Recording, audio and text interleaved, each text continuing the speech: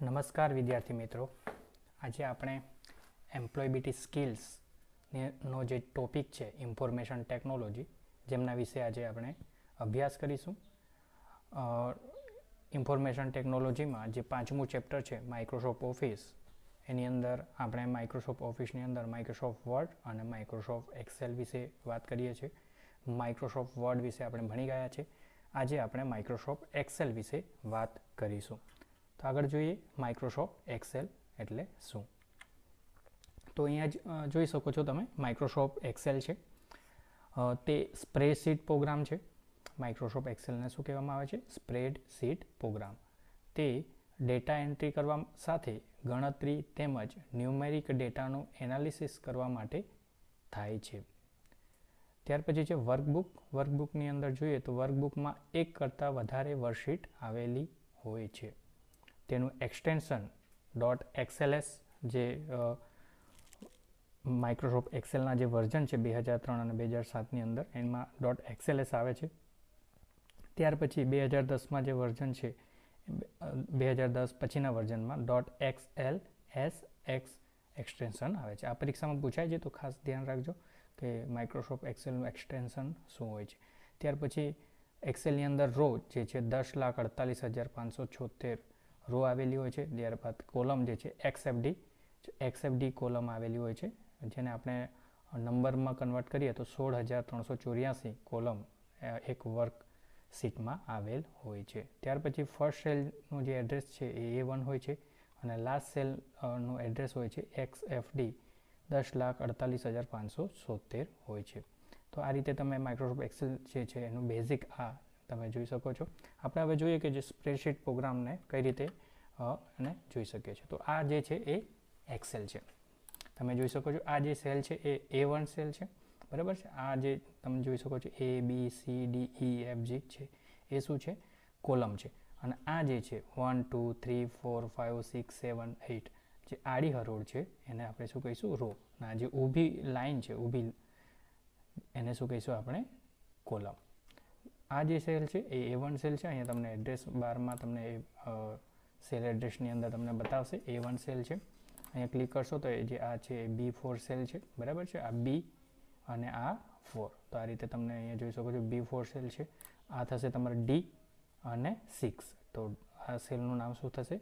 D six આ એક, આને જે છે એ એક્ટિવ સેલ કહી, કહીશું આપણે. જે બી આ બોર્ડરવાળો જે સેલ દેખાય છે, એને શું કહીશું આપણે? એક્ટિવ સેલ એની અંદર ઘણી બધી સીટ આવેલી હોય છે.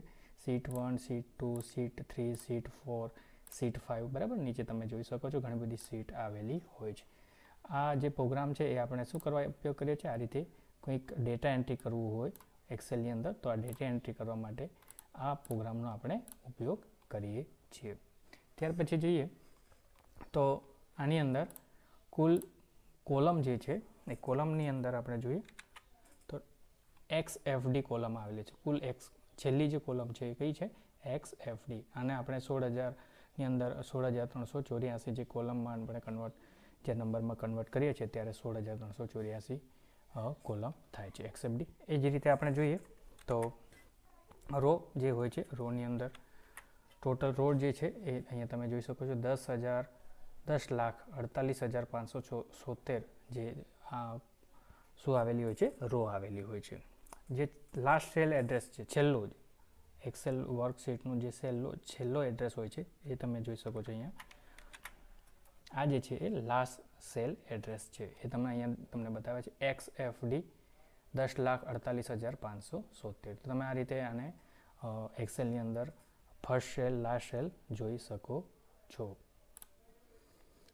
અહીંયા આપણે જોઈએ તો એક્સેલનું જે આ એક્સેલ શીટ છે એને પ્રોપર્ટીમાં જઈને જોઈ શકીશું. અહીંયા જે, આ જે છે dot X L S X આ એક્સટેન્શન છે ફાઇલ આના પરથી તમે એક્સેલની ફાઇલ સર્ચ કે એને ડિફરન્ટ ટાઈપ કરી શકો છો. બરાબર છે? તો એક્સેલ એસ એસ એક્સ જે છે, એમનું એક્સટેન્શન હોય છે. આ બે હજાર તેરની એક્સેલ છે, એટલે એક્સએલએસ એક્સ એક્સટેન્શન હોય છે, જ્યારે બે હજાર ત્રણથી સાતની અંદર એક્સ એલ એક્સ હોય છે. બરાબર? એ ખાસ ધ્યાન રાખજો, પરીક્ષામાં ખાસ એ પૂછાય છે. તો તમારે આ વસ્તુ ધ્યાન રાખવા જેવી છે પરીક્ષામાં. હવે આપણે જોઈએ.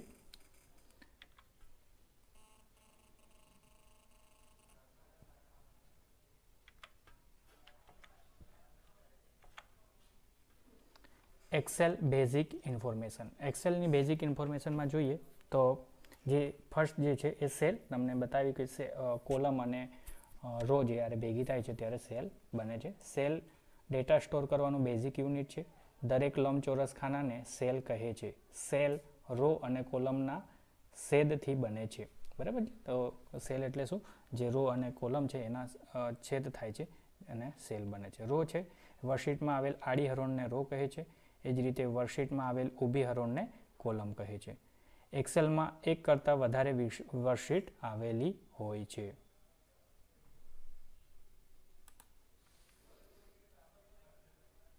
અહીંયા તમે જોઈ શકો છો. આ જે છે એ સેલ ગણાશે. બરાબર છે? એ કઈ રીતે બને છે? આ જે કોલમ છે અને રો જે છે, જ્યાં છેદે છે, એને આપણે શું કહીશું? સેલ છે. ઘણા બધા સેલ આવેલા હોય છે, જે આપણે જોઈ ગયા. કે ટોટલ સેલ આપણી સંખ્યા, સેલની સંખ્યા, કોલમ અને રો.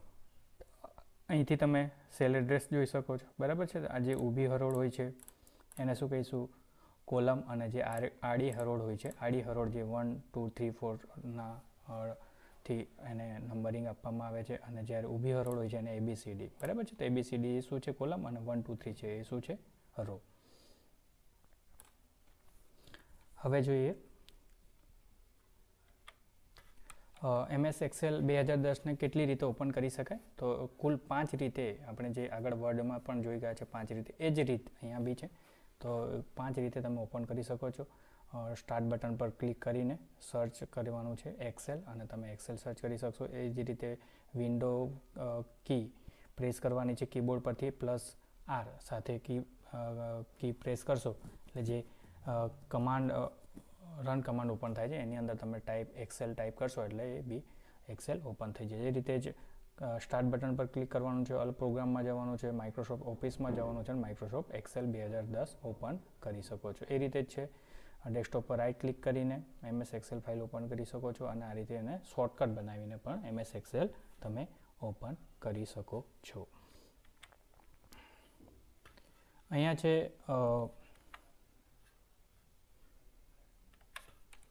આપણે જોઈએ તો એક્સેલ ટેબ અને રિબન તો એક્સેલ ટેબની અંદર તમે જોઈ શકો છો કે ઘણી બધી એક્સેલની અંદર ટેબ આવેલી હોય છે. તમે ફાઇલ ટેબ છે, હોમ ટેબ છે, ઇન્સર્ટ ટેબ છે, લેઆઉટ ટેબ છે, ફોર્મ્યુલા ટેબ છે, ડેટા ટેબ છે, રિવ્યૂ ટેબ છે, બરાબર છે? તો આ હોમ ટેબ છે. હોમ ટેબનું આ જે છે, એ તમે જે આડી પટ્ટી જે દેખાય છે, એને આપણે શું કહીશું? રિબન. એની અંદર તમે અલગ અલગ એના શોર્ટકટ્સ આઇકોન આવેલા હોય છે, જેનો ઉપયોગ કરીને તમે એને ફોર્મેટિંગ કરી શકો છો રાઈટ એ રીતે જ અહીંયા તમે ઇન્સર્ટ ટેબ છે ઇન્સર્ટ ટેબ પર ક્લિક કરવાથી આ રીતે તમને રિબન જોવા મળે છે, બરાબર છે? ટેબલ ઇન્સર્ટ કરવું હોય પિક્ચર ઇન્સર્ટ કરવું હોય ક્લિપ આર્ટ ચાર્ટ ઇન્સર્ટ કરવા હોય, એ રીતે જ આગળ જઈએ તો પેજ લેઆઉટ છે. પેજ લેઆઉટ મતલબ કે જે તમારું પેજ સેટિંગ છે, બરાબર? આડું, ઊભું page size A four A three legal એ બધી સેટ કરવી હોય તો તમે અહીંથી કરી શકો છો. તો આ હતું એક્સેલ ટેબ અને રિબન આગળ જઈએ તો data types in Excel data ટાઈપમાં તમે જોઈ શકો છો કે ત્રણ પ્રકારના ડેટા ટાઈપ્સ એક્સેલની અંદર આવે છે. આ પરીક્ષામાં પૂછાઈ શકે કે ડેટા ટાઈપ એક્સેલમાં કેટલા પ્રકારના હોય છે. તો ત્રણ પ્રકારના. પહેલું છે લેબલ્સ જેમાં તમે કંઈક લખો છો ડેસ્કટોપ પબ્લિશિંગ ઓપરેટર એને આપણે શું કહીશું? ટેક્સ્ટ ધારો કે તમારું નામ લખો, તમારા ફાધરનું નામ લખો, કંઈ બી લખો, તો એને આપણે શું કહીશું? ટેક્સ્ટ જ્યારે ઝીરોથી નાઇન નંબરની જે નંબર્સ તમે એન્ટર કરો, એને આપણે શું કહીશું? વેલ્યુ અથવા નંબર્સ ડેટા ટાઈપ અથવા તમે કોઈ ફોર્મ્યુલા એન્ટર કરો, તો એને આપણે શું કહીશું? ફોર્મ્યુલા ડેટા ટાઈપ્સ એ રીતે જ ડેટા એન્ટ્રી માટે કીબોર્ડનો ઉપયોગ કરવામાં આવે છે. એન્ટર કી એન્ટર કીમાં તમે નીચેની રૂમમાં જવા માટે એરો કી તો ઉપર, નીચે ડાબી જમણી બાજુ જવા માટે ટેપ કી તો જમણા સેલમાં જવા માટે શિફ્ટ ટેપ તો ડાબી બાજુના સેલમાં જવા માટે અલ્ટર વત્તા એન્ટર કી તો સેલમાં ટેક્સ્ટને વ્રેપ કરવા માટે તમે આ બધી કીનો ઉપયોગ કરી શકો છો. તાકી ખૂબ જ ઉપયોગી છે ફોર્મેટિંગ માટે, તો ખાસ યાદ રાખજો. બરાબર? તો આપણે જોઈશું કે આ બધી કીનો ઉપયોગ કઈ રીતે કરવામાં આવે છે.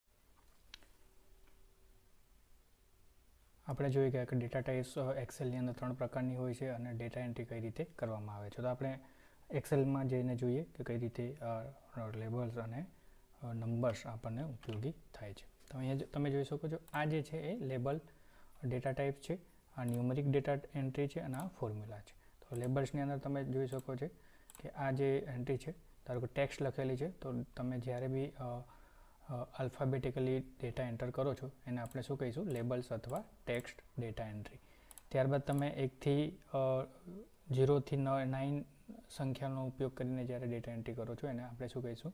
ન્યુમેરિક ડેટા એન્ટ્રી ત્યારબાદ આ જે છે એ ફોર્મ્યુલા છે, તમે જોઈ શકો છો. આ બે સેલનો સરવાળો અહીંયા કરેલો છે અને એને ફોર્મ્યુલા લખીને આ આપણે ડેટા એન્ટ્રી કરી છે તો આ તમે ત્રણ પ્રકારની ડેટા એન્ટ્રી એક્સેલની અંદર તમે ત્રણ પ્રકારની ડેટા એન્ટ્રી કરી શકો છો. લેબલ્સ ન્યુમેરિક ડેટા એન્ટ્રી અને ફોર્મ્યુલા તો આ હતી એક્સેલ ડેટા હવે આપણે જોઈએ કે જે એક્સેલમાં જે ફોર્મેટિંગ કઈ રીતે કરવાનું હોય છે, જે સેલ છે, એ સેલમાં તમે અહીંયા તમે જોઈ શકો છો કે હું એરોકી દબાવું છું. તો આ જે એરોકીને ઉપર નીચે જે એક્ટિવ સેલ છે ને ઉપર નીચે કઈ રીતે લઈ જવું? તો તમે જોઈ શકો છો અહીંયા લેફ્ટ એરોકી છે, જે એરોકી આવે છે કીબોર્ડ પરથી. કુલ ચાર પ્રકારની એરોકી કીબોર્ડ પર આવે છે. Left arrow key right arrow key up arrow key અને ડાઉન એરોકી રાઈટ તો લેફ્ટ એરોકીથી શું થાય છે કે ડાબી સાઈડના સેલમાં તમારો જે કર્સર જે એક્ટિવ સેલ છે એ ડાબી સાઈડ બાજુ જાય છે. એ રીતે જ રાઈટ એરો કી હું પ્રેસ કરું છું, તો રાઈટ સાઈડ એ જે એક્ટિવ સેલ છે, એ તમારો રાઈટ સાઈડ આગળ વધે છે.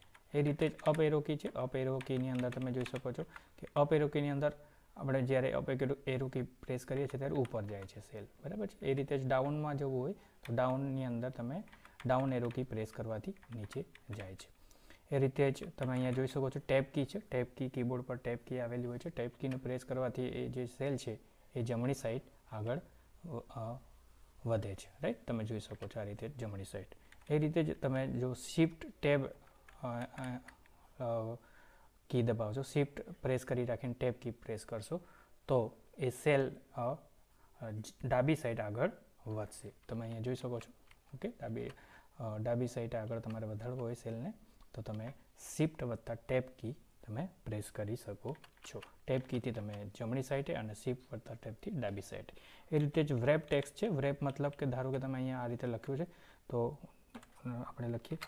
માય ટ્રેડ નેમ ઇઝ તો અહીંયા તમે લખો છો. ત્યારે શું થાય છે કે આ જે લખાણ છે એ બીજા સેલમાં પહોંચી જાય છે. એકચ્યુઅલી બીજા સેલમાં નથી જતું આપણને એવું લાગે છે કે બીજા સેલમાં એ પહોંચી ગયો છે. તો એને આપણે નવી લાઇનમાં લાવવા માટે એક જ સેલમાં જોઈ શકાય. એટલા માટે આપણે શું કરવાનું છે? પહેલાં તો તમારે કીબોર્ડ પરથી F two key key press કરવાની છે. અહીંયા તમને બતાવેલું છે. એફ ટુ કી પ્રેસ કરો.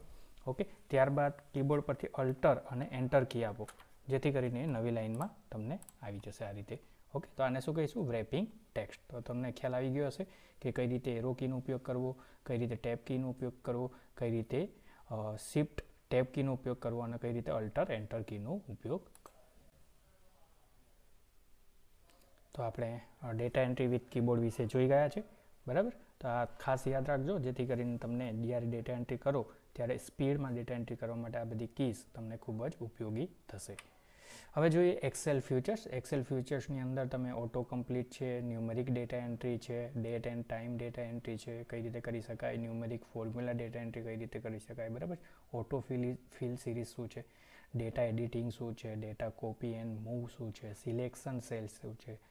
રિસાઇઝ રો અને કોલમ બરાબર છે? મર્જ સેલ સ્પ્લિટ સેલ આ વિશે આપણે હવે જોઈશું કે જેથી કરીને તમને ખ્યાલ આવે કે કઈ રીતે તમને એક્સેલ્સના જે આ ફ્યુચર છે એ કઈ રીતે કામ કરે છે. તો આપણે જોઈ હવે આપણે જોઈએ તો ઓટો કમ્પ્લીટ એટલે શું? એક્સેલનું જે આ ફ્યુચર છે ઓટો કમ્પ્લીટ એટલે તમે ધારો કે તમે ઉપર લખેલું છે ડેસ્કટોપ પબ્લિશિંગ ઓપરેટર તો અહીંયા તમે ખાલી ડી પ્રેસ કરશો, તો ઉપર જે લખેલું હશે સેમ લખેલું ડી પરથી એ તમને અહીંયા આવી જશે. અને તમે એને એન્ટર કી કે ડબલ ક્લિક કરીને એને તમે એને સેવ કરી દો જેથી કરીને તમારે ટાઈપ કરવાની જરૂર રહેતી નથી. આને શું કહીશું આપણે? ઓટો કમ્પ્લીટ ફ્યુચર્સ એ રીતે જ ન્યુમેરિક ડેટા એન્ટ્રી છે. તો ન્યુમેરિક ડેટા એન્ટ્રીની અંદર તમે વન છે, બરાબર છે? ટુ છે થ્રી છે, આ રીતે ન્યુમેરિક ડેટા એન્ટ્રી તમે અહીંયા કરી શકો છો. કોઈ બી ડેટા એન્ટ્રી અહીંયા તમારે ન્યુમેરિક ડેટા એન્ટ્રી જે કીબોર્ડની જમણી સાઈડે તમે જે ન્યુમેરિક કીબોર્ડ આપેલું હોય છે, એનાથી તમે ન્યુમેરિક ડેટા એન્ટ્રી કરી શકો છો. બરાબર છે? ઝીરોથી નવના આંકડાનું કોમ્બિનેશન કરીને કોઈ બી આંકડા તમે અહીંયા એન્ટર કરી શકો છો. ત્યારબાદ પછી છે ડેટ અને time data entry date time data એન્ટ્રીની અંદર તમે જોઈ શકો છો આ ડેટ છે, બરાબર છે? ડેટ એન્ટ્રી કરવા માટે ધારો કે અહીં હું એન્ટ્રી કરું છું આજની તારીખ ઓગણત્રીસ ત્રણ, બે હજાર ત્રેવીસ. તો અહીંયા તમે જોઈ શકો છો ઓગણત્રીસ, ત્રણ, બે હજાર ત્રેવીસ, બરાબર છે? એ રીતે જ તમે ડેટ એન્ડ ટાઈમની ડેટા એન્ટ્રી કરી શકો છો. એ રીત છે numeric formula entry numeric formula એન્ટ્રીની અંદર તમે આ રીતે દસ વત્તા દસ આ રીતે કરશો ન્યુમેરિક ડેટા એન્ટ્રીની ફોર્મ્યુલા તો એ તમને સરવાળો કરી આપશે. એ રીતે જ જોઈએ તો વીસ વત્તા પચાસ. તો આ રીતે ન્યુમેરિક ફોર્મ્યુલા એન્ટ્રી પણ તમે એક્સેલની અંદર કરી શકો છો. આ ઓટોફિલ સિરીઝ શું છે? ધારો કે તમે એક, બે અહીંયા લખો છો એકથી પંદર સુધી, તો આપણે અહીંયા જોઈએ ઓટોફિલ સિરીઝની અંદર. ધારો કે હું વન લખું છું અને અહીંયા ટુ લખું છું. બરાબર છે? તો હવે મારે અહીંયા આંકડા જે છે, હવે મારે આગળ ઓટોફિલ સિરીઝમાં જવા છે. તો તમે એ બંને સેલને સિલેક્ટ કરી લો first A select cell select કર્યા પછી અહીંયા ફિલ હેન્ડલ આવશે. ઉપર લઈ જશો એટલે ખૂણામાં. બરાબર છે? આ રીતે જે કર્સરનો આકાર છે પ્લસ જે મોટો, જાડો પ્લસ છે એનો આકાર બદલાઈને જે ફિલ હેન્ડલમાં કન્વર્ટ થશે, આ રીતે બ્લેક પ્લસમાં થશે અને એને નીચે પકડીને તમે નીચે લાવશો એટલે શું થશે? જાતે જ એમનો ડેટા ફિલ થઈ જશે. બરાબર છે? તો આપણે કોઈ લખવાની ઝંઝટ રહેતી નથી. ઓટોફિલ સિરીઝનો ઉપયોગ કરીને તમે તમારો સમય બચાવી શકો છો. Data editing data trading editing માટે ધારો કે તમે કોઈક આંકડો ખોટો લખાઈ ગયો છે અથવા ધારો કે one two three four five લખવા, લખ્યું છે અહીંયા. બરાબર છે? અહીંયા એક આંકડો આપણાથી ઓછો લખાયો છે સિક્સ લખવાનું બાકી છે. તો તમે અહીંયા કીબોર્ડ પરથી એફ ટુ કી પ્રેસ કરશો, તો પછી ત્યાં જઈને તમે ડેટા એન્ટ્રી ડેટા એડિટિંગ કરી શકો છો. એ રીતે ધારો કે આપણે જે સ્મોલ બરાબર છે? તો આની સ્પેલિંગ ખોટી છે, તો આપણે એને એડિટિંગ કરવું છે, તો કીબોર્ડ પરથી એફ ટુ પ્રેસ કરો અને જે ખોટી સ્પેલિંગ છે એને કાઢી નાખીને તમે એને સાચી સ્પેલિંગ કરી શકો છો. એ રીતે ડેટા કોપી પેસ્ટ કરવું હોય તો તમે કોઈ બી નામ લખી શકો છો અહીંયા. સચિન છે. સૌરવ છે. વિરેન્દ્ર છે રાઈટ તો આને તમારે કોપી પેસ્ટ કરવું હોય તો કંટ્રોલ સી અથવા રાઈટ ક્લિક કરીને કટ કોપી કરી શકો છો. ધારો કે હું કોપી કરું છું અને અહીંયા પેસ્ટ કરું છું. બરાબર છે? રાઈટ ક્લિક કરો. અને કંટ્રોલ વી કરશો. એટલે પેસ્ટ થઈ જશે. એ રીતે તમે બધાને સિલેક્ટ કરીને કીબોર્ડ પરથી કંટ્રોલ સી અને કંટ્રોલ વી કરશો કીબોર્ડ પરથી, એટલે કોપી પેસ્ટ અને મૂવ થઈ જશે. એ રીતે જ આને કટ કરવું હોય તો કંટ્રોલ એક્સ અને ત્યારબાદ કંટ્રોલ વી તો એ કટ થઈને તમને અહીંયા મૂવ બીજા સેલમાં આવી જશે. તો આ રીતે ડેટા કોપી અને પેસ્ટ તમે અહીંયા કરી શકો છો. ત્યાર પછી જે છે સિલેક્શન સેલ સેલનું સિલેક્શન કઈ રીતે કરવું? તો આ રીતે તમે સિલેક્શન સેલ કરવા માગતા હોય તો તમે જોઈ શકો છો. તો આ રીતે કંટ્રોલ કીની મદદથી તમે અલગ અલગ સેલ સિલેક્ટ કરી શકો છો અથવા માઉસ કીની મદદથી તમે આ રીતે સેલ સિલેક્ટ કરી શકો છો.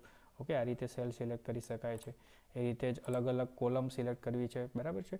તો તમે કંટ્રોલ કી દબાઈ રાખીને અલગ અલગ કોલમ પણ સિલેક્ટ કરી શકો છો. એ રીતે જ અલગ અલગ સેલ સિલેક્ટ કરવા છે. તો કંટ્રોલ કી દબાઈ રાખવાની કીબોર્ડ પરથી આ રીતે તમે અલગ અલગ સેલ પણ તમે અહીંયા સિલેક્ટ કરી શકો છો.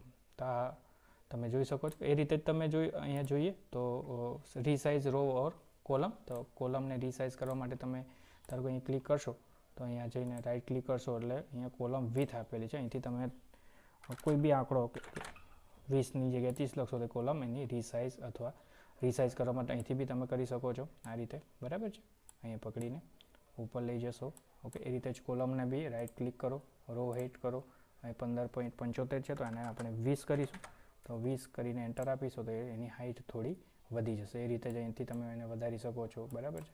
એને રીસાઇઝ ફરી જેટલી હતી એમને એ પ્રમાણે એની સાઇઝ કરી શકો છો. આ રીતે કોલમને રીસાઇઝ મર્જ સેલ એટલે જ્યારે જ્યારે સેલને ભેગા કરવામાં આવે, ધારો કે આ ત્રણ સેલ છે, એને આપણે જ્યારે મર્જ કરીશું, તો ત્રણેય સેલનો ભેગા થઈને મર્જ થઈ જશે. તો અહીંથી તમે મર્જ કરવા માટે તમારે અહીંયા સેલને પકડવાના છે. ત્રણેય સેલને, બરાબર? સિલેક્ટ કરીને તમારે અહીં ઉપર જવાનું છે. અહીં હોમ ટેબની અંદર, હોમ ટેબની અંદર અલાઇનમેન્ટ ગ્રુપ છે. અલાઇનમેન્ટ ગ્રુપમાં અહીંયા તમે મર્જ છે. મર્જ અને કોઈ બી આમાંથી મર્જ સેલની અંદર તમારે પ્રથમ આ જે સેલ છે એ સિલેક્ટ કરવાના છે. બરાબર છે? આ ચાર, પાંચ સેલ સિલેક્ટ છે એને આપણે મર્જ કરવું છે. અહીંયા હોમ ટેબની અંદર અલાઇનમેન્ટ ગ્રુપમાં જવાનું છે અને એને મર્જ સેલ કરવાનું છે. બરાબર? તો આ રીતે સેલ મર્જ થઈ જશે એટલે પાંચ સેલનો એક સેલ બની ગયો. રાઈટ એ રીતે જ તમારે એને સ્પ્લિટ કરવું છે. તો ફરી એને સ્પ્લિટ કરવું હોય તો રાઈટ ક્લિક કરો. ફોર્મેટ સેલ બરાબર છે? ફોર્મેટ સેલની અંદર તમારે અલાઇનમેન્ટ ગ્રુપમાં અનમર્જ કરશો. એટલે એ ફરી પાછું, એ તમારે જે હતું એ પાછું સ્પ્લિટ સેલ થઈ જશે. સ્પ્લિટ મર્જ એટલે મર્જ એટલે ભેગા કરવું અને સ્પ્લિટ એટલે જે ભેગા કરેલા સેલને એ પાછા ઓરિજિનલ સેલમાં લાવવા. એને આપણે શું કહીશું? સ્પ્લિટ સેલ બરાબર છે? સેલને પાર્ટીશન પાડવા. ઓકે? તો આ હતું તમારું મર્જ અને સ્પ્લિટ સેલ હવે આપણે જોઈશું ડેટા ફોર્મેટિંગ ડેટા જે આપણે ડેટા એન્ટ્રી કરીએ છીએ એક્સેલની અંદર, એની અંદર જે ફોર્મેટિંગ કઈ રીતે કરવામાં આવે છે? તો પહેલું છે વ્રેપ ટેક્સ વેબ ટેક્સ એટલે શું? આપણે જોઈ ગયા કે જ્યારે એક સેલની અંદર લાંબી લાઈન લખીએ છીએ, ત્યારે એ સેલ બીજા સેલની અંદર લખાણ થયું હોય એવું લાગે છે. તો એને આપણે શું કરીએ છીએ? એફ ટુ કી પ્રેસ કરીએ છીએ અને પછી અલ્ટર એન્ટર કરી આપીએ જેથી કરીને બ્રેપ ટેક્સ થઈ જાય છે. બરાબર છે? તો એક જ સેલમાં ડેટાને એક કરતાં વધુ લાઇનમાં લાવવા માટે જે કરવામાં આવે છે એને આપણે શું કહીશું? ટેક્સ ત્યાર પછી જે format number and date style બરાબર છે? તો એની અંદર તમે ડોલર છે ડેટ એન્ડ ટાઈમ છે, બરાબર? એ ફોર્મેટિંગ તમે સેલની અંદર લાવી શકો છો.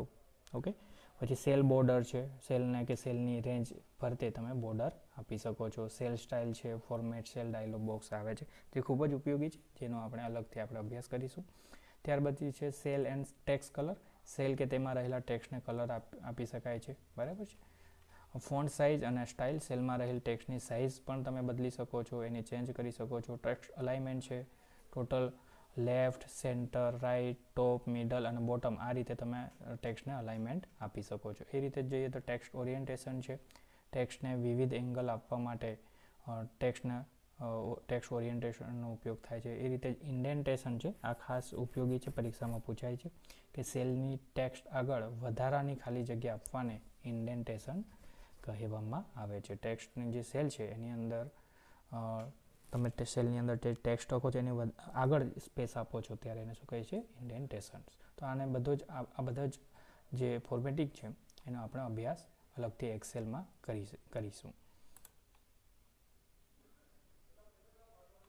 અહીં આપણે જોઈ ગયા છે કે અમુક ડેટા એન્ટ્રી આપણે એક્સેલની અંદર કરી છે. સિરિયલ નંબર છે નેમ છે ઈમેલ આઈડી છે મોબાઈલ નંબર છે, આધાર નંબર છે, બરાબર છે? તો આ બધાને આપણે ધારો કે બોર્ડર આપી છે તમે એને એ સેલને પકડી લેવાનું હોય છે.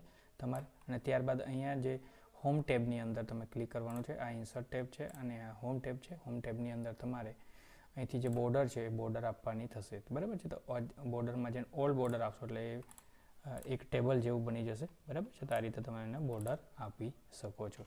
એ રીતે જ તમે અહીંથી આને ફોન્ટ ધારો કે ફોન્ટ જે છે, આ ફોન્ટ જે છે એને ફોન્ટ મોટા કરવા હશે. તો આને ફોન્ટ તમે અહીંથી મોટા કરી શકો છો અથવા ચેન્જ કરી શકો છો. રાઈટ ધારો કે આપણે આના ફોન્ટ મોટા મોટા કરવા છે, તો આ રીતે તમે એના ફોન્ટ મોટા કરી અહીંથી બી ફોન્ટ મોટા થઈ શકે છે રાઈટ એ રીતે જ ફોન્ટ નાના કરવા હોય તો અહીંથી બી તમે ફોન્ટ નાના કરી શકો છો. એ રીતે જ ફોન્ટની સાઇઝ બદલવી છે, તો તમે અહીંથી કે કેલિબરી છે ટાઈમ્સ ન્યૂ રોમન છે, બરાબર છે? કોઈ બી ફોન્ટની સ્ટાઇલ અહીંથી તમે બદલી શકો છો. આ રીતે અલગ અલગ સ્ટાઇલ તમને ફોન્ટની સ્ટાઇલ એક્સેલ પ્રોવાઈડ કરે છે. ઘણી બધી ફોન્ટની સ્ટાઇલ છે. તમે અહીંયા જોઈ શકો છો. ખૂબ જ બધી ફોન્ટની સ્ટાઇલ અહીંયા તમને જોવા મળે છે. અહીંયા તમે જોઈ શકો છો ફોન્ટના જે ફોન્ટ છે એ આઠથી બોતેર સુધી મેક્સિમમ તમે સૌથી નાના આઠ અને સૌથી મોટા બોતેર ફોન્ટ તમે કરી શકો છો. એ રીતે જ આગળ જઈએ તો ફોન્ટને તમે અહીંથી બોલ્ડ કરી શકો છો. ઓકે આ રીતે જ આ ફોન્ટને ઇટાલી કરવો હોય તો ઇટાલી કરી શકો છો. અંડરલાઇન આપી શકો છો. તે રીતે જ ફોન્ટને તમારે ફોન્ટને તમારે કલર કરવા છે. બરાબર છે? તો કલર પણ આપી શકો છો એને હાઇલાઇટ પણ કરી શકો છો આ રીતે. ઓકે? હાઇલાઇટ પણ કરી શકો છો. સેલને પણ કલર આપી શકાય છે. કોઈ સેલને બોર્ડર પણ આપી શકાય છે. બરાબર? આ અલાઇમેન્ટ છે. અલાઇનમેન્ટની અંદર આપણે જોઈએ તો ધારો કે અલાઇનમેન્ટની અંદર હું અહીંયા વન લખું છું. બરાબર છે? તો આ વન બાય ડિફોલ્ટ એ રાઇટ અલાઇનમેન્ટ લે છે. જ્યારે હું આ રીતે વન લખું છું તો એ ડાબી સાઈડે અલાઇનમેન્ટ લે છે, બરાબર? તો આ ખાસ પરીક્ષામાં યાદ રાખજો કે જ્યારે તમને ન્યુમેરિક ડેટા જ્યારે તમે એન્ટર કરો છો, ત્યારે એ ડાબી સાઈડે હોય છે જમણી સાઈડે હોય છે અને જ્યારે કેરેક્ટર ઇન્સર્ટ કરો છો, ત્યારે એ ડાબી સાઈડે હોય છે, બરાબર છે? અને હવે તમે આ રીતે આ સેન્ટર છે, આ, અહીંયા તમે જોઈ શકો છો, આ લેફ્ટ છે, આ સેન્ટર છે અને આ રાઈટ છે. એ રીતે તમે એમને પણ ફોન્ટ મોટા કરીને આ ટોપ છે, બરાબર છે? આ જે ટોપ છે, આ સેન્ટર છે અને આ બોટમ છે. ઓકે, આ રીતે તમે એને આ રીતે તમે અલાઇનમેન્ટ તમે અહીંયા આપી શકો છો. ઇન્ડેન્ટેશનની અંદર જોઈએ, ધારો કે તમે કોઈક નંબર અહીંયા એન્ટ્રી કરી છે, તો આ એન્ટ્રીને નંબર જે છે, એની અંદર તમે અહીંથી અલગ અલગ નંબર તમે અહીંયા આપી શકશો. બરાબર છે? કરન્સી છે તો કરન્સી આપી શકો છો ડોલર છે તો ડોલર તમે અહીંયા આપી શકો છો. ઓકે? નંબર છે, આપી શકો છો, જનરલ આપી શકો છો, બરાબર છે? અહીંથી તમે ઇન્ક્રીઝ ડેસિમલ ડેસિમલ ઇન્ક્રીઝ કરવા હશે તો ઇન્ક્રીઝ કરી શકો છો ડિક્રીઝ કરી શકો છો, બરાબર છે? પર્સન્ટેજ સાઇન આપી છે કોમા સાઇન આપી છે, તો અહીંથી તમે આ સાઇન તમે અહીંયા આપી શકો છો. એ જ રીતે છે જે આ જે કોલમ છે, એની અંદર તમે ઘણી બધી હોમ ટેબની અંદર ઘણા બધા ઓપ્શન્સ તમને અહીંયા ગ્રુપમાં જોવા મળે છે એ ગ્રુપનો ઉપયોગ તમે કરીને આગળ ઘણું કરી શકો છો. એ રીતે જ આ ફોર્મેટિંગ કરવા માટે ખૂબ જ ઉપયોગી જે કોઈ હોય તો એ છે ફોર્મેટ સેલ્સ આ જે રાઈટ ક્લિક કરવાનું છે તમારે અહીંયા અને રાઇટ ક્લિક કરીને ફોર્મેટ સેલ છે. એની અંદર તમારે જવાનું છે ફોર્મેટ સેલની અંદર. ફોર્મેટ સેલની અંદર જઈને તમારે અહીંયા તમે ઘણા બધા જે નંબર છે તમે અહીંયા કસ્ટમાઇઝ કરી શકો છો. નંબર છે અલાઇનમેન્ટ છે, બરાબર છે? વેબ ટેક્સ છે સ્ટ્રિંગ ટુ ફિટ છે ફોન્ટ છે બોર્ડર છે, બરાબર છે? ફીલ છે કલરને પ્રોટેક્શન છે, બરાબર? તો આ બધી વસ્તુ તમે અહીંયા કરી શકો છો. એ રીતે જે જે ટેક્સ છે એને તમે ધારો કે આ ટેક્સ છે એ હમણાં આડું બતાવે છે, તો એને આપણે વર્ટિકલ છે, આ રીતે તમે એને બદલી શકો છો રાઈટ આ રીતે જોઈ શકો છો તમે. એનું ઓરિએન્ટેશન બદલી શકો છો. અહીંથી બી બદલી શકાય છે. બરાબર? આ રીતે તમે ઓરિએન્ટેશન એનું બદલી શકો છો. તો આ રીતે એક્સેલ ઘણા જ સારા ફ્યુચર્સ તમને આપે છે અને એનો ઉપયોગ કરીને સરસ એક સારી એક્સેલ શીટ અને ફોર્મેટિંગ કરી શકો છો. હવે જોઈએ કે અહીંયા જે ઇન્ડેન્ટેશન છે ઇન્ડેન્ટેશનની અંદર જોઈએ તો અહીંયા કોઈ સ્પેસ નથી, બરાબર છે? સેલની અંદર. તો સ્પેસ આપી હશે. તો તમારે અહીંથી જમણી સાઈડનું જે ઇન્ડેન્ટેશન છે આપશો તો સ્પેસ તમને અહીંથી મળશે. તો એ આ જે સેલ જે લખેલું છે ડેસ્કટોપ એ તમે જમણી સાઈડે ખસતું જોવા મળે છે. બરાબર છે? અને આ ઇન્ક્રીઝ ઇન્ડેન્ટ છે, એ રીતે જે અહીંયા બાજુમાં છે તો અહીંયા ડિક્રીઝ ઇન્ડેન્ટ આવશે.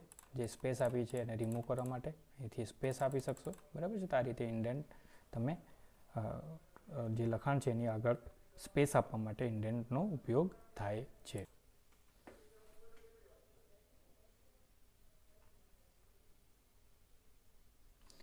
એ રીતે જ એક્સેલમાં ઘણી બધી ટેબ જોવા મળે છે. આ ફાઇલ ટેબ છે. ફાઇલની અંદર તમારે ન્યૂ છે, ઓપન છે, સેવ છે, સેવ એઝ છે. ફાઇલને સેવ એઝ કરવી હોય, ફાઇલને પ્રિન્ટ કરવી હોય, એક્સપોર્ટ કરવી હોય, બરાબર છે? તો એમાંથી તમે કરી શકો છો. ફાઇલને પ્રોટેક્ટ કરવી હોય તો અહીંથી તમે પ્રોટેક્ટ કરી શકો છો. ફાઇલને પાસવર્ડ આપી શકાય છે.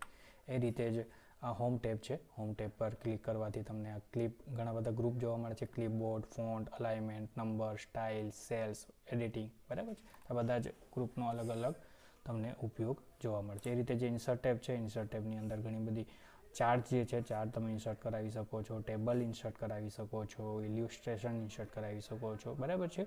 ટેક્સ્ટ ઇન્સર્ટ કરાવી સિમ્બોલ ઇન્સર્ટ કરાવી શકો છો. એ રીતે છે પેજ લેઆઉટ છે પેજ લેઆઉટની અંદર તમે એનું જે પેજનું લેઆઉટ છે એ બદલી શકો છો. Portrait landscape any size A four A three A five A six એ બદલી શકો છો. પ્રિન્ટનો પ્રિન્ટ એરિયા સિલેક્ટ કરી શકો છો, પ્રિન્ટ ટાઇટલ સિલેક્ટ કરી શકો છો. તો ઘણી બધી ફેસિલિટીઝ આ છે ફોર્મ્યુલા ટેબ છે. ફોર્મ્યુલાની અંદર ફોર્મ્યુલા તમે મૂકવી હોય તો અહીંથી ફોર્મ્યુલા પસંદ કરી શકો છો. એટલે આ ડેટા ટેબ છે. ડેટા ટેબની અંદર તમે ડેટાને સોર્ટિંગ કરવા માગો છો ફિલ્ટર કરવા માગો છો, તો અહીંથી તમને ઉપયોગ થઈ શકે છે. એ રીતે જ રિવ્યૂ ટેબની અંદર સ્પેલિંગ ચેક કરાવવા માગો છો. રિસર્ચ છે થેસર્સ છે, બરાબર? સામાનાર્થી શબ્દ શોધવા હોય તો આનો ઉપયોગ કરી શકો છો. ગ્રામર ટેસ્ટ કરવું હોય તો તમે આનો ઉપયોગ કરી શકો છો. ત્યાર પછી જે વ્યૂ છે, ધારો કે આ તમે અહીંયા જોઈ શકો છો. આ રૂલર છે, રૂલર જો વ્યૂ બાય ડિફોલ્ટ રૂલર અહીંયા બતાવે છે. એટલે ગ્રીડ લાઇન તમારે અહીંયા અહીંયા રૂલર જોઈ છે, અહીંયા ગ્રીડ લાઇન છે. બરાબર છે? આ ગ્રીડ લાઇન તમે અહીંયા જોઈ શકો છો. આ ગ્રીડ લાઇન હવે અહીંયા જોવા મળતી નથી. ધારો કે અહીંયા હું ગ્રીડ લાઇન છે, એના પર ક્લિક કરીશ. વ્યૂ ટેબમાં છે આ. ગ્રીડ લાઇન અહીંયા તમને જોવા મળશે. બરાબર? એ રીતે ફોર્મ્યુલા બાર છે. ફોર્મ્યુલા બાર અહીંયા હિડન થઈ જાય છે. જો ફોર્મ્યુલા બાર હિડન હોય, તો તમારે શું કરવાનું છે? ફોર્મ્યુલા બાર વ્યૂ ટેબમાં જવાનું છે. ફોર્મ્યુલા બાર છે, એના પર ક્લિક કરશો એટલે ફોર્મ્યુલા બાર અને જે ફંક્શન છે, એ તમને અહીંયા જોવા મળશે. એ રીતે જ છે હેડિંગ હેડિંગ તમે જોઈ શકો છો. અહીંયા હેડિંગ જોવા નથી મળતા. આપણે જે રો હેડિંગ હોય છે કોલમ હેડિંગ હોય છે, બરાબર છે? એ અહીંયા જોવા મળતા નથી. તો એ તમારે જોવા હોય તો એ રીતે અહીંયા તમે અહીંયા ક્લિક માર્ક કરશો. ક્લિક કરશો તો આ જે હેડિંગ છે એ તમને અહીંયા જોવા મળશે. બરાબર છે? તો આ હતી એક્સેલની જે અલગ અલગ ટેપ છે, એનો અલગ અલગ ઉપયોગ છે. બરાબર? એ તમે ડેટા એન્ટ્રી કરતી વખતે એનો અલગ અલગ ઉપયોગ કરી શકો છો.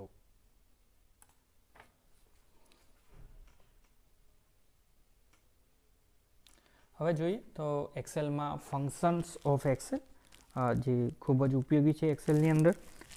જોઈએ તો પેલું ફંક્શન એટલે શું? ફંક્શન કે ફોર્મ્યુલા એ વર્કશીટમાં રહેલ ડેટા પર ગણતરી કરતા સમીકરણો છે. ફંક્શન એટલે શું? કે તમે જ્યારે કોઈક ડેટા એન્ટ્રી કરો છો, એના જે ફંક્શનનો ઉપયોગ કરીને તમે એને ભેગા કે એની ગણતરી કરી શકો છો. એ રીતે જ ફંક્શન હંમેશા ઇક્વલ ટુની નિશાની વડે શરૂ થાય છે. જ્યારે બી તમે એક્સેલની અંદર ફંક્શન લખો, ત્યારે તમારે ફર્સ્ટ જ્યારે ઇક્વલ ટુ લખવાનું છે, ત્યારબાદ જ તમારે એ ફંક્શન તમે લખી શકો છો. એ રીતે જ અહીંયા દાખલા તરીકે જોઈ શકીએ છીએ કે ઇક્વલ ટુ સમ કાઉન્સ આની અંદર કોઈક આર્ગ્યુમેન્ટ આવશે અને એનો તમે એન્ટર આપશો એટલે સરવાળો થશે. એ રીતે જ equal to five plus four direct constant સરવાળો બી પણ કરી શકાય છે. તો અહીં તમે જોઈ શકો છો કે આ ફોર્મ્યુલા ટેબમાં તમે જશો તો એની અંદર ઘણા પ્રકારના ફંક્શન તમને જોવા મળશે. ઓટોસમ છે રિસેન્ટલી યુઝ છે ફિનાન્શિયલ ફંક્શન છે લોજિકલ ફંક્શન છે ટેક્સ્ટ ફંક્શન છે ડેટ ટાઈમ ફંક્શન છે લુકઅપ ફંક્શન છે. બરાબર છે? આ બધા ફંક્શન તમને અહીંયા જોવા મળશે. અલગ અલગ અલગ ફંક્શન છે. અલગ અલગ ટાઈપના બરાબર છે?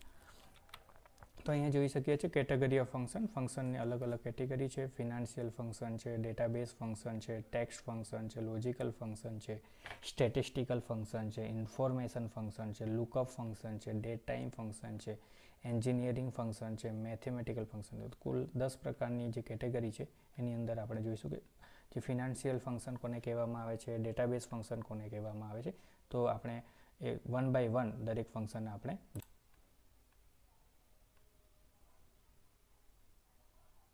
અહીંયા તમે જોઈ શકો છો, આ જે એક્સેલ ફંક્શન છે, એની અલગ અલગ કેટેગરીઝ છે. આ છે ફિનાન્શિયલ ફંક્શન ફિનાન્શિયલ ફંક્શનની અંદર આ જે જે છ ફંક્શન છે, એ ખૂબ જ ઉપયોગી છે. એ પરીક્ષામાં પૂછાય છે. તો એફવી છે, તો એફવી શું કરે છે? રોકાણના ભવિષ્યની વેલ્યુ રિટર્ન કરે છે. એ રીતે છે પીવી રોકાણના હાલના, હાલની વેલ્યુ રિટર્ન કરે છે. રેટ છે. વ્યાજ દર નક્કી કરે છે. એન પર છે. પીએમટી છે, બરાબર છે? આઈઆરઆરઆર છે. આ બધા જ જે ફંક્શન છે, એ કોના ફંક્શન છે? ફિનાન્શિયલ ફંક્શન છે. મતલબ કે એ તમે આનો ઉપયોગ કરીને તમે વ્યાજ દર છે, રોકાણ માટેના ગાળાની સંખ્યા છે, એ બધું શોધી શકો છો. ત્યાર પછી છે ડેટાબેઝ ફંક્શન ડેટાબેઝ ફંક્શનની અંદર તમે ડી જ્યારે ડી આગળ લાગેલું હોય ત્યારે સમજી જવાનું કે ડેટાબેઝ ફંક્શન છે એક્સેલની અંદર. ડી જી ટી છે ડી કાઉન્ટ છે ડી સમ છે ડી મેક્સ છે ડી મીન છે, આ બધા ફંક્શન કોના છે? ડેટાબેઝ ફંક્શન છે. એ રીતે જે ટેક્સ્ટ ફંક્શન છે ટેક્સ્ટ ફંક્શનની અંદર આ જે ઉપયોગી ફંક્શન છે, પરીક્ષામાં પૂછાય છે. એ કેરેક્ટર છે. કેરેક્ટર કોડ નંબરથી સ્પેસિફાઈ થતા કેરેક્ટરને રિટર્ન કરે છે. ત્યાર પછી છે આ લેન છે કેરેક્ટરની સંખ્યા રિટર્ન કરે છે. બરાબર છે? આ લોવર ફંક્શન છે, આ પ્રોપર ફંક્શન છે. તમે એનો ઉપયોગ જોઈ શકો છો. બરાબર? વીડિયો પોઝ કરીને તમે એનો ઉપયોગ જોઈ શકો છો, ધારો કે અપર છે તો ટેક્સ્ટના અપર કેસમાં ફેરવવા માટે છે. ટેક્સ્ટમાં રહેલી ખાલી જગ્યાને દૂર કરવા માટે તો ટીમ ફંક્શનનો ઉપયોગ થાય છે.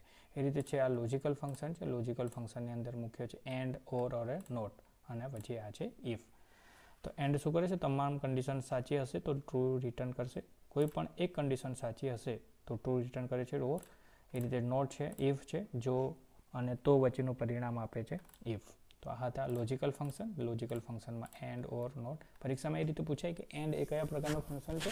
તો લોજિકલ તમે લખવાનું કે ધારો કે પરીક્ષામાં પૂછાય ઇફ એ કયા પ્રકારનું ફંક્શન છે? તો એ લોજિકલ ફંક્શન છે. એ રીતે જોઈએ તો સ્ટેટિસ્ટિક સ્ટેટિસ્ટિકલ ફંક્શન છે. સ્ટેટિસ્ટિકલની અંદર તમે જોઈ શકો છો એવરેજ છે કાઉન્ટ છે મેક્સિમમ છે મિનિમમ છે. બરાબર? આ ફંક્શન મોડ છે. આ બધા ફંક્શન જે છે એ સ્ટેટિસ્ટિકલ ફંક્શન છે. ત્યાર પછી છે લુકઅપ ફંક્શન લુકઅપ ફંક્શનની અંદર એચ લુકઅપ અને વી લુકઅપ ખાસ ઉપયોગ થાય છે. બરાબર છે? આ ફંક્શનનો ઉપયોગ તમે કરીને એક્સેલની અંદર તમારી જે હાર્ડ વર્ક છે એને સ્માર્ટ વર્કમાં ફેરવી શકો છો. એ રીતે છે અહીંયા ડેટ અને ટાઈમ ફંક્શન છે. ડેટ ટાઈમ ફંક્શનની અંદર મુખ્ય છે ડેટ ચોક્કસ તારીખનો ક્રમ નંબર રિટર્ન કરે છે. ડે છે એ ક્રમ નંબરને મહિનાના દિવસમાં ફેરવે છે. ડે થ્રી સિક્સટી છે, દિવસોની સંખ્યા રિટર્ન કરે છે. નાવ છે કરંટ તારીખ અને સમયનો ક્રમ. નાવ અને ડેટ ટુડે એ ખાસ ઉપયોગી છે. એ પરીક્ષામાં પૂછાયા કરે છે. તો આ ખાસ યાદ રાખજો કે ટુડેનો ઉપયોગ શું અને નાવનો ઉપયોગ શું?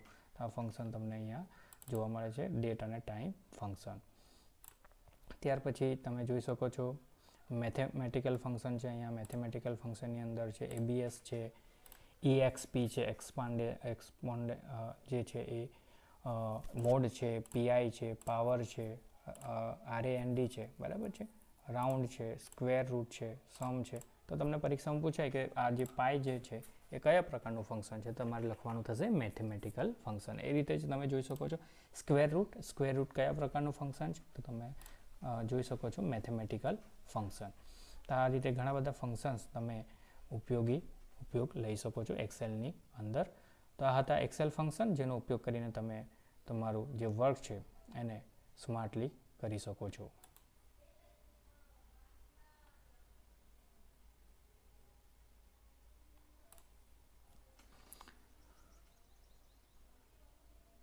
હવે જોઈએ એક્સેલની અંદર સોર્ટિંગ ફિલ્ટરિંગ અને વેલિડેશન શું છે? તો આ ખૂબ જ ઉપયોગી છે કે સોર્ટિંગ એટલે શું? સોર્ટિંગ ડેટા સોર્ટિંગ ડેટા એટલે શું? વર્કશીટમાં રહેલ ડેટાને આલ્ફાબેટિકલી કે ન્યુમેરિકલી સોર્ટ કરી શકાય છે. ધારો કે તમારે આ ચડતા ક્રમમાં કે ઉતરતા ક્રમમાં ડેટાને ગોઠવવો છે, તો તમે એને એક્સેલમાં કરી શકો છો. ધારો કે એ ટુ ઝેડ છે, તો એ ટુ ઝેડ કરશો તો એ ચડતા ક્રમમાં હશે, ઝેડ ટુ એ કરશો તો એ ઉતરતા ક્રમમાં હશે. એ રીતે જ ઝીરો ટુ નાઇન અથવા નાઇન ટુ ઝીરો તમે કરી શકો છો. એ રીતે જ છે ફિલ્ટરિંગ ડેટા. ફિલ્ટરિંગ ડેટાની અંદર તમે જોઈ શકો છો ફિલ્ટર ઓપ્શનની મદદથી ડેટાને જરૂરિયાત મુજબ જુદા તારવી શકાય છે. તેના ત્રણ ભાગ પડે છે. Text filter numeric number filter અને ડેટ ફિલ્ટર આ ત્રણ પ્રકાર ફિલ્ટરના છે. એમાં તમે ત્રણ પ્રકારે એને ફિલ્ટર કરી શકો છો. તે ત્યારબાદ છે ડેટા વેલિડેશન ડેટા વેલિડેશનનો ઉપયોગ કરીને કોઈ સેલમાં ચોક્કસ પ્રકારની એન્ટ્રી જ કરી શકાય તેમ દર્શાવી શકાય છે. દાખલા તરીકે એક્ઝામ્પલ તરીકે જોઈએ તો એ વન સેલમાં દસથી સો વચ્ચેની નંબરની એન્ટ્રી થવા દેવી છે આપણે.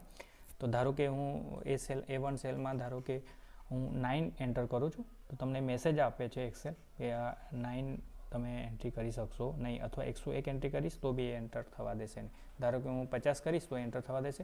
શા માટે? કે એ વસ્તુ દસ દસથી સોની વચ્ચે છે. તો આ ડેટા વેલિડેશન છે તો આપણે એને જોઈએ કે કઈ રીતે એ વસ્તુ શક્ય બને. અહીંયા તમે ડેટા જોઈ શકો છો તો આપણે અહીંયા એમનો શોર્ટ કરીશું. તો પહેલાં માટે ફિલ્ટર કરવા માટે ડેટા ફિલ્ટર કરવા માટે તમારે અહીંયા જે હેડિંગ જે લાઇન છે ફિલ્ડ લાઇન એને પકડવાની છે. આ રીતે સિલેક્ટ કરીને પછી અહીંયા તમારે હોમ ટેબમાં જવાનું છે. હોમ ટેબમાં તમારે એડિટિંગ જે ગ્રુપ છે એની અંદર જવાનું છે. એડિટિંગ ગ્રુપની અંદર તમારે અહીંયા સિલેક્ટ કરીને શોર્ટ એ ટુ ઝેડ કરી શકો છો.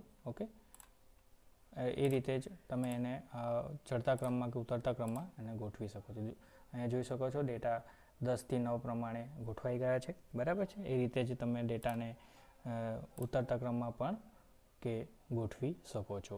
ઓકે એ રીતે જ તમે ડેટા ફિલ્ટર કરવું હોય તો આ જે ફિલ્ટરની નિશાની છે, એના પર તમે ક્લિક કરીને આ રીતે ફિલ્ટરની નિશાની લાવી શકો છો. આ જે નિશાની છે, બરાબર? અહીંથી તમે ડેટા ફિલ્ટર કરી શકો. ધારો કે મારે ડેટા એકથી પાંચ સુધીનો જે ડેટા મારે ડિસ્પ્લે કરાવવો છે, તો તમે આ રીતે અહીંયા સિલેક્ટ કરી શકો છો. ઓકે અને તમે અહીંથી એકથી પાંચ નંબરનો ડેટા ફિલ્ટર કરી શકો. ધારો કે મારે પાંચથી ત્રણ, ચાર અને પાંચ નંબરનો જ ડેટા ફિલ્ટર કરાવવો છે.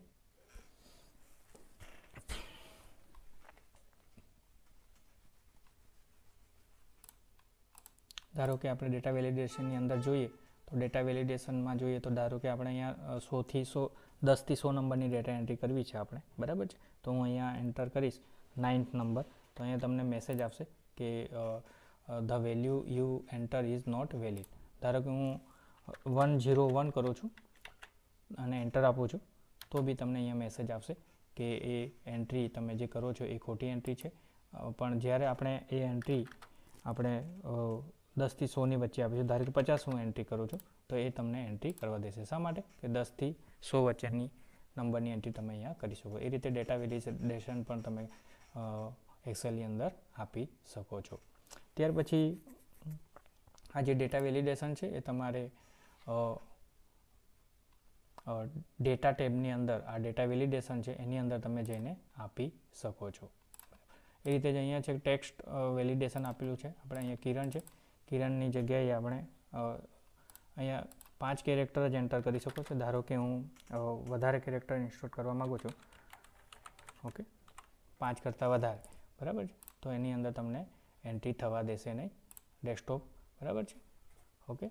એ રીતે જઈએ તો હવે આપણે પાંચ નંબરનો એન્ટર ડેટા કરીએ છીએ ખાલી. ધારો કે Q W E R T બરાબર છે? ત્રણ. તો અહીંયા તમને એન્ટર કરવા દેશે. આ હતું ડેટા વેલિડેશન કમ્પ્યુટરની એક્સેલની અંદર તમે ડેટા વેલિડેશન કરી એન્ટ્રીને ચોકસાઈપૂર્વક ડેટા એન્ટ્રી કરી શકો છો.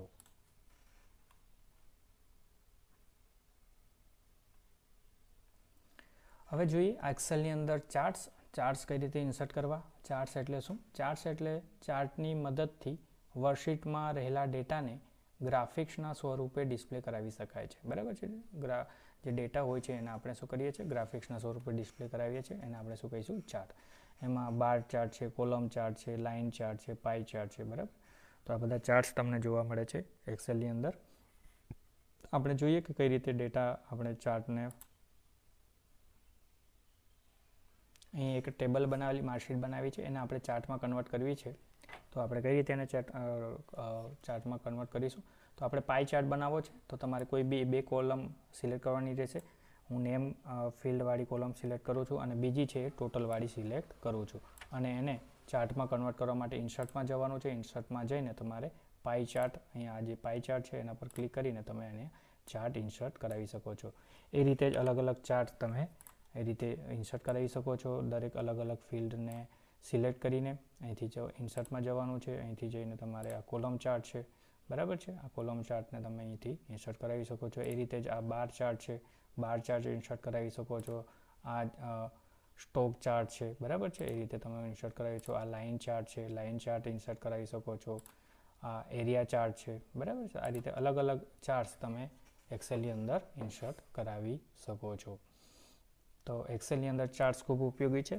એક્સેલમાં ચાર્ટ્સ ઇન્સર્ટ કરવા પૂછાય તો આ રીતે તમે ઇન્સર્ટ ટેબમાં જઈને ચાર્ટને ઇન્સર્ટ કરા. હવે જોઈએ.